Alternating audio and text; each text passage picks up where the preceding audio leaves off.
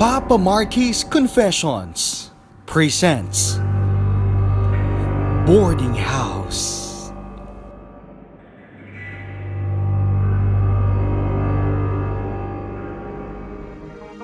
Isigaw mo ang bulong ng iyong puso Huwag kang matakot o mahiya Mga sekreto'y ilabas mo na. Halika na, simulan mo na kaibigan. Makikinig ang buong mundo. Sa bigat na iyong dinadala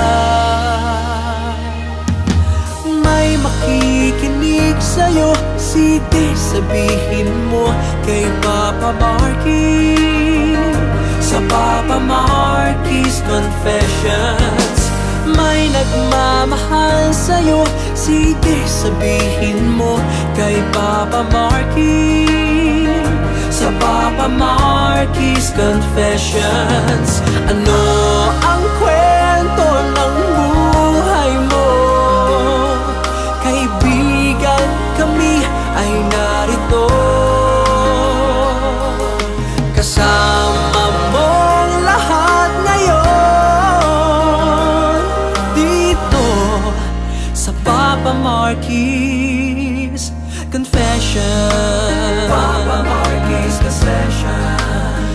Papa Marquis Confessions Papa Marquis Confessions Papa Marquis Confessions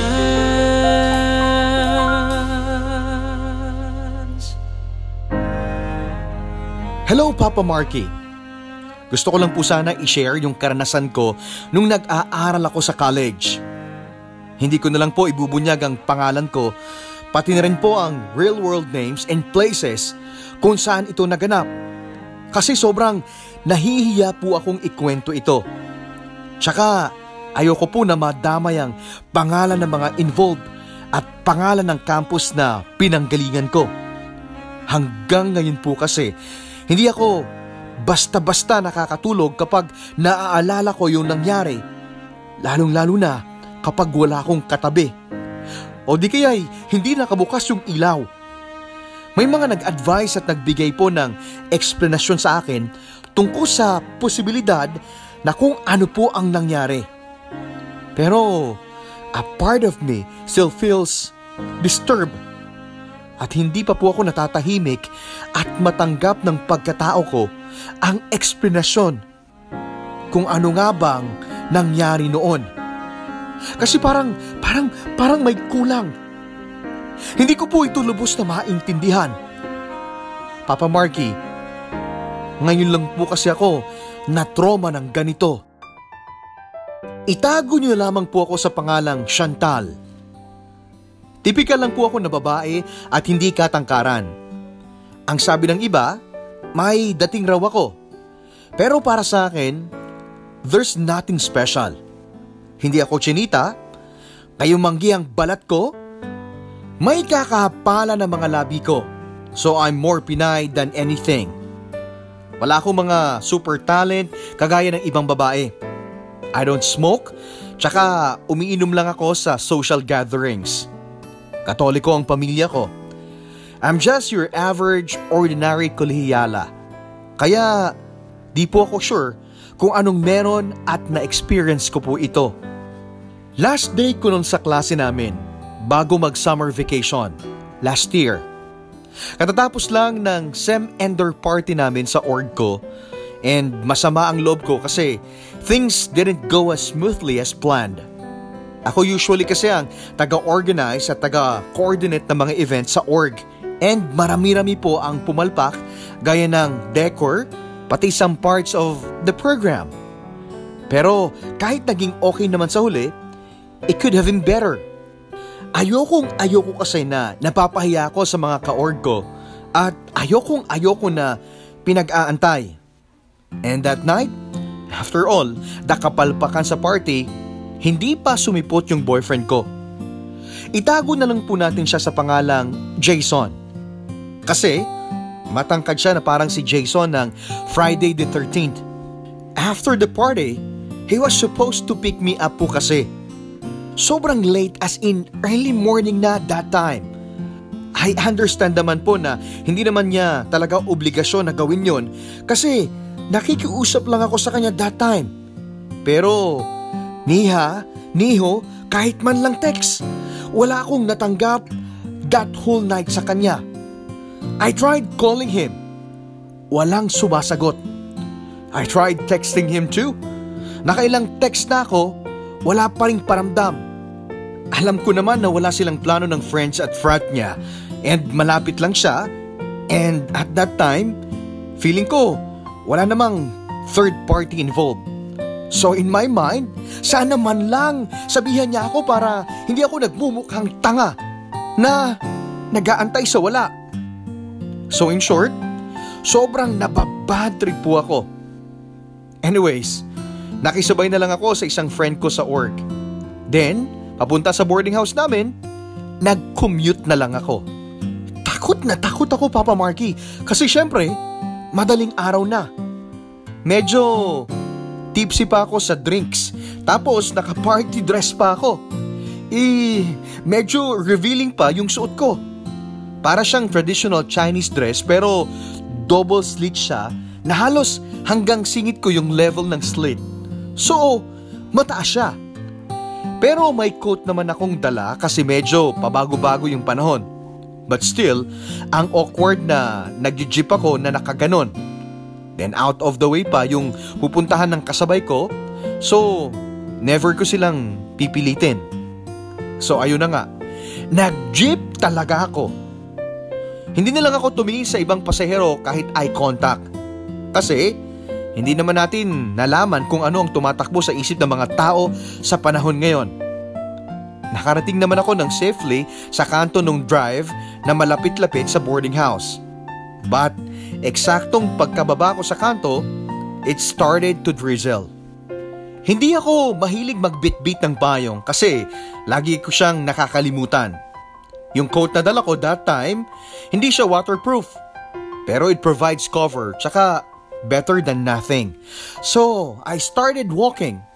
Kahit medyo lumalakas yung ulan, sa isip ko, makakashower naman ako pagka uwi. Naka-high heels ako that time, Papa Marky. So, ang hirap. Katangahan ko kasi Nakalimutan kong magdala ng spare flats sa sobrang apurada ko sa events. Mula doon sa sakay ng jeep, siguro mga less than one and a half kilometers yung lalakarin ko para makarating sa boarding house. Tapos, pababa siya. So, good luck talaga sa akin. I was halfway there, Papa Marky. Nung biglang may sumabog sa kung saan. Sabay, brownout. As in, buong paligid ko pati kaluluwa ko na ata, eh, binalot ng dilim. Mangyak-ngiyak na ako na inis na inis kasi parang pinagtutulungan ako ng buong universe that night. Everything that could go wrong was in fact going wrong. I feel very uncomfortable kasi alam kong malapit na akong magkaroon. I was wet from the rain. Nang Indian yung boyfriend ko Sobrang pagod na pagod ako. Tipsy pa ako. Sabay-sabay, patong-patong. Pero sabi ko sa sarili ko, hinga lang. Hinga lang, Chantal. Total, last day na yon. And in the morning, uuwi na kami. So I just kept walking sa dilim. Ika nga po nila, di ba? The night is the darkest before the dawn. Di ba? Buti na lang, wide yung road at kahit mapuno sa area ng boarding house ko, wala siya masyadong pasikot-sikot. Hindi ko rin magamit ang cellphone ko bilang flashlight kasi dead bat na siya. And wala akong power bank. Di carry ng baon ko sa dami ng gastusin sa school. Sobrang bad, sobrang bad bad day po talaga. Papa Marky, in each and every possible way. Nung malapit na ako sa boarding house, nasira yung heels ko. So napilitan akong magpaa sa kalye. Eh di ba umuulan? So lahat ng dumi ng kalye nakahalo sa tubig ulan. Kadiri, yung putik pati na rin yung ibang dumi ng kalye kung ano-anong pumasok sa pagitan ng toes ko. Naiisip ko pa that time, paano yung mga basura, yung ipis, yung mga dura ng tao, at mga daga, ang daming bakterya. Diring-diri ako pero pinilisan ko lang maglakad. Walang magagawa ang pandidiri ko sa sitwasyon ko. So I just keep walking. Finally, nakarating ako sa boarding house. Kumatok ako para pagbuksan. Pero mga 2.30ish na yon ng umaga so baka tulog na silang lahat. Tsaka ang lakas ng buhos ng ulan. So I wasn't sure kung naririnig yung katoko o sigaw ko. Kinuha ko na lang yung spare key sa pinagtataguan naming flower pot. And then, I entered. Pagpasok ko sa loob ng boarding house, Papa Marky, sobrang dilim. And kulob yung feeling. Tapos yung smell nung basang lupa. Sobrang dampening yung feeling sa loob. I tried the light switch pero wala talagang kuryente. Sa labas, bumubuhos na yung ulan, kulog, kidlat, dilim, on retrospect, parang horror movie. Pero siguro sa pagod at sa sobrang pagkabalisa, di ko na rin inisip. Nagpunas na lang ako ng paa. Pagod na pagod ako. But since sobrang dilim, kinapa ko na lamang yung daan going to my room. Simple lang yung design ng boarding house namin, Papa Marky. Pagkapasok nyo sa pinto, immediately sa kaliwa yung dining area tapos sa kanan yung sala. Yung kitchen sa kaliwa, it leads to the backyard na more of tambakan lang ng karton tsaka laundry area. Then yung sa sala, sala lang talaga. Hanggang dun lang. Yung sa gitna, pagpasok mo, dediretso lang from front door, yung corridor na kabilaan yung mga rooms. May dalawang room sa kaliwa and dalawa sa kanan. Then sa pinakadulo, yung common CR namin. Yung room ko, nasa dulo right side. So, nilakad ko pa ito ng dahan-dahan hanggang makarating sa kwarto ko. Pagpasok ko sa kwarto, hinubad ko yung coat ko tsaka sinabit yung purse ko sa clothes rack. Then, dire-diretso po akong dumapa sa kama. Sobrang pagod ko that time. Nahihilo na rin ako. Pinakinggan ko na lang yung patak ng ulan and in-stabilize ko yung katawan ko. Tapos, I rolled over and nakatitig lang ako sa ceiling. Finally, I was safe. Mainit yung pakiramdam ko dahil sa humidity tapos maliit pa yung room. Sa pagkakahiga ko sa kaliwa, may built-in cabinet, dresser hanggang sa corner, then sa tabi nun may tokador. Katapat naman ng tokador, on the other side ng room, may desk po ako sa paanan ng kama. Sobrang balisa talaga yung feeling ko. And never akong natutulog na hindi naliligo. Mga ilang minutes siguro akong nakatitig sa ceiling. Alam ko na need ko nang maligo pero ayaw talaga ng katawan ko kahit alam kong kaunting kembot na lang, eh makapagpapahinga na ako. Anyway, pinilit kong tumayo And then humarap ako sa salamin.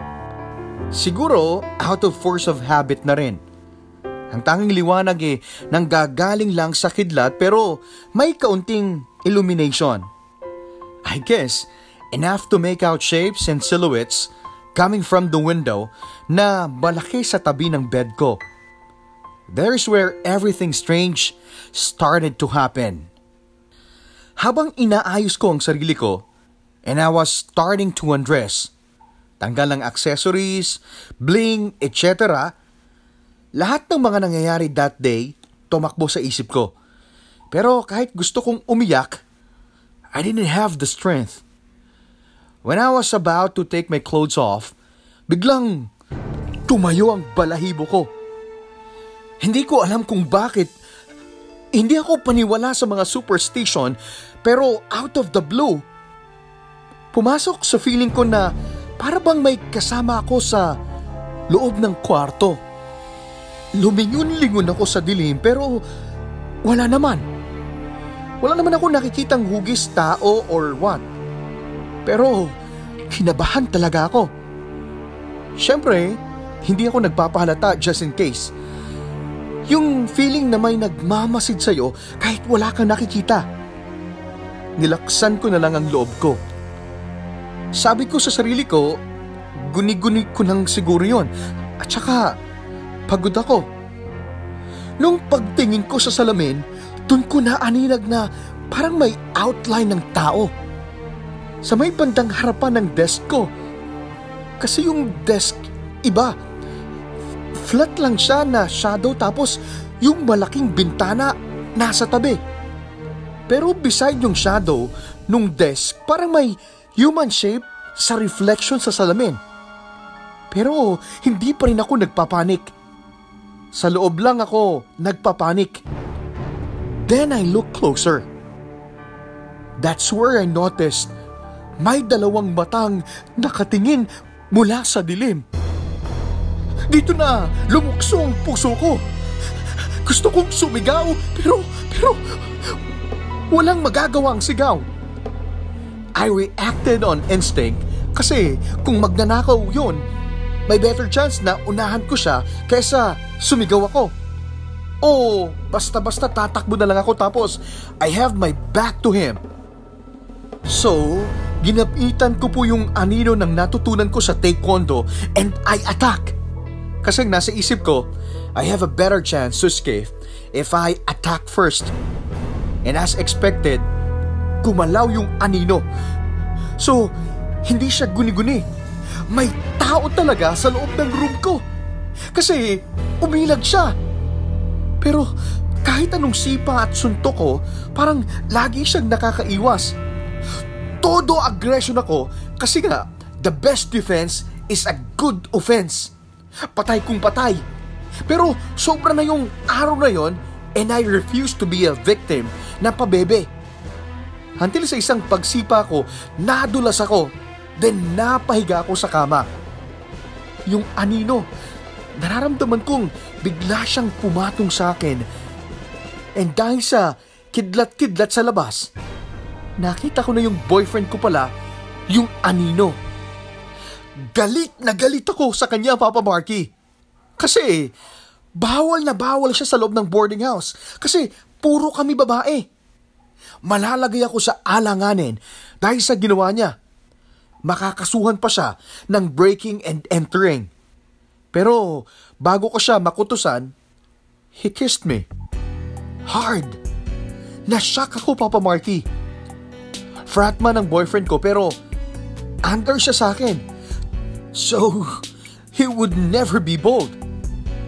Nakapin ako sa kama, then suot-suot ko pa rin yung dress ko na hindi ako makagalaw that much kasi ayokong mapunit yung damit ko. Pero galit na galit pa rin ako sa kanya. Kahit masarap yung halik niya. Pero he didn't stop. Tuloy-tuloy ang halik niya at yung mga kamay niya kung saan-saan gumagapang. Sinipa ko siya papalayo.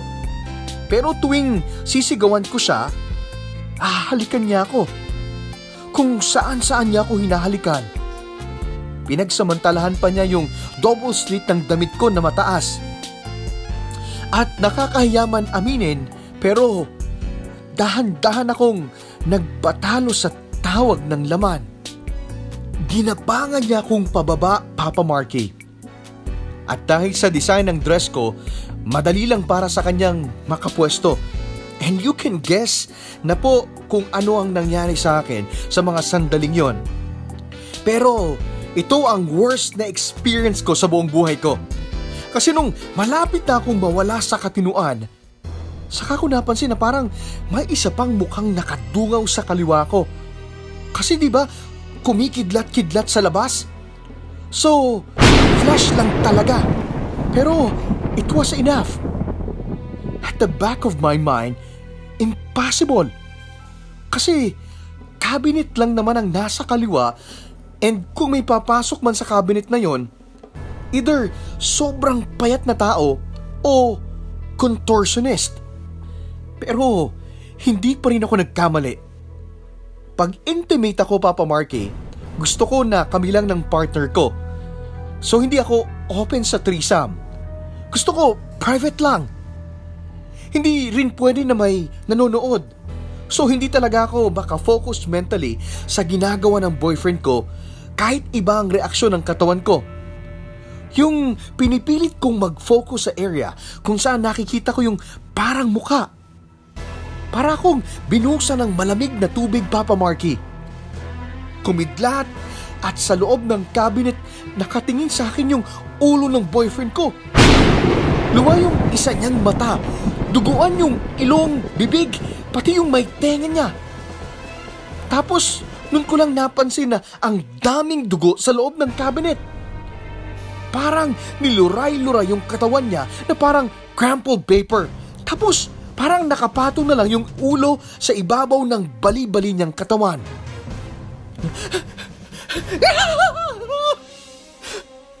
Hindi ko maintindihan. Wala akong maintindihan. Ito na siguro yung pinakamalakas na sigaw na nasigaw ko sa buong buhay ko. Pinagsisipa ko yung nakikipagtalik sa akin at napaatras ako sa kama. Kumikidlat-kidlat po that time. At nararamdaman ko na parang tumatawa siya kahit hindi ko rinig. Pero habang tumatawa siya, nakita ko sa pabugso-bugsong kidlat na nagbabago yung hugis ng katawan niya. Broad-shouldered si Jason. So this new silhouette was definitely not my boyfriend. And what is worse, nakita ko yung pag-retract ng mga buto-buto niya into smaller frame. Naging hugis babae siya in the flashes of lightning. Obvious naman, kahit sa dilim, kung babae o, o lalaki, kasi ang lalaki, inverted triangle yung hugis, eh pag babae, hourglass shape kami at ma-curve talaga. So, awa siya kasi nakatitig lang ako sa kanya and from the back niya, nung silhouette parang may kung ano-anong mga galamay na naglalabas mula sa likuran. I mean, galamay na nakakabit sa katawan niya. Hindi galing sa likod ng silhouette. Nagkakagalamay yung hugis babaeng nakatayo sa paanan ng kama ko. Papa Marky, nalundag ko talaga yung pinto sa takot mula sa kama. Pero humarang yung babae at parang nakikipagpatingtero siya sa akin. Ang natatandaan ko pa, that time na hinaharang-harangan niya ako at yung mga galamay niya na parang may shadow lang. Inaatake ako at sigurado kong tinatamaan ako. Pero lahat ng tama niya, hindi masakit. Hindi ko rin nararamdaman yung tama sa balat ko. Pero dumediretso sila sa loob ng katawan ko at tinutupok nila yung private parts ko. Tumatago sila sa damit ko at balat din pag tumama sa tawan ko sa loob ang tama nila. Pero walang dugo. Hindi ko siya mablock. It's like they were never passing through my skin and touching me inside sa parts na gusto lang nilang matouch. Nagtilim yung paningin ko that time kasi lahat ng tama sa akin, imbis na masaktan ako eh, lalo akong na-arouse sa taas, sa baba, lahat ng nakapagpapalibog sa loob ng katawan ko, doon nila ako pinapatamaan. Ang hirap ng feeling na gustong gusto mong magpaubaya sa ginagawa sa'yo pero alam mong hindi ka dapat bumigay. Nilapitan ako ng babae at saka binulungan ako na sumuko ka na. Ang sabi niya. At tama nga ako. Babae nga siya pati sa boses. Pinilit ako ng babae at nung hinawak-hawakan niya ako sa gitna ng hita, napaatras ako ng gusto at napahiga uli sa kama. Dito na pumihit ang buong mundo ko. Pinatungan ako ng babae at walang tigil ang kanyang kahayupang ginagawa sa akin sa kung saang saang private parts ng katawan ko. Pero dala na siguro ng sobrang takot at adrenaline rush, nakabangon ako at nakalundag uli ako at nakatakbo palabas ng kwarto. I did not look back. Habang tumatakbo ako sa koridor, naaninag ko ang kidlat na may mga bangkay pala sa dining area at sala, yung mga kaborder ko. nakahilata sila. Sina tita na landlady namin, putlang-putla silang lahat at nakahandusay sa kung saan-saan. Nagsisigaw akong tumakbo palabas ng boarding house at sa ulan. Nakapaa akong tinakbo yung kalye para akong baliw na na sumisigaw. Pero thank Lord at that time may nakasalubong akong mobile ng campus security. I told them na patay yung mga kaborder ko at sabi ko na lang na nandun yung pumatay sa kanila. They called in for backup at sinamahan nila ako. Takot na takot ako, Papa Marky. Kasi wala namang dalang baril ang campus police namin kasi bawal. At habang pabalik-balik kami sa boarding house, nagkaroon na ng kuryente. Nauna yung mas matanda na kumatok sa pinto. Tapos, biglang bumukas yung pinto. Binati siya ng landlady namin Nakasibangot si tita at sa laking gulat ko, nagkukumpulan sa likod niya yung mga kaborder ko na tila parang bagong gising. Buhay sila, Papa Marky. Buhay na buhay sila at parang gulat na gulat sila. Narinig daw nila na sumisigaw ako kaya nagsibangon at nagsilabasan sila sa kanilang kwarto. At nung ichinek ko yung kwarto ko, okay naman yung lahat. So, sabi nila, baka nagpapanik attack lang ako o binabangungot. Pero hanggang ngayon, hindi ako sure. Kasi nung bumalik ako sa kwarto, basa ang kama ko at alam mo na na may nakita kong bahid na parang dugo sa cabinet ko. Pero sa gilid lang. Hindi ko alam kung ano ang nangyari sa akin at kung naaswang ako nung college days ako, kung may maipapayo ang yung mga taga-subaybay, please do. Gusto kong maintindihan ang nangyari sa akin dahil hanggang ngayon, hindi ko pa rin maintindihan kung ano ang naganap nung gabi na yon. Sino ang taong nakapasok sa kwarto ni Chantal? Guni-guni nga ba lang ang lahat? O may isang di pangkaraniwang nilalang na gumawa nito sa kanya? Hanggang ngayon ay isang misteryong lahat. Nais mo bang ibahagi ang iyong kwento at karanasan? Isend yan kay Papa Marky at mlpj underscore 02 at yahoo.com o mag-PM sa Papa Marky page baguhin natin ang mundo sa pamamagitan ng iyong kwento. Maging bahagi ng Papa Marky's Confessions. May makikinig sa'yo, sige sabihin mo kay Papa Marky. Sa Papa Marky's Confessions, may nagmamahal sa'yo, sige sabihin mo kay Papa Marky Sa Papa Marky's Confessions Ano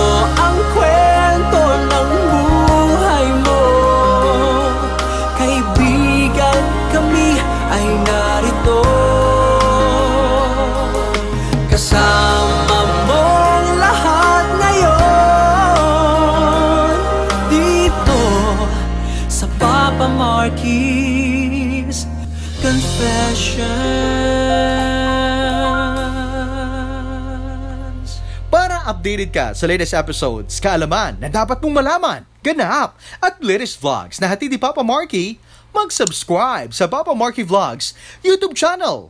Mag-like, share, comment, at iring ang bell para araw-araw updated ka. Confession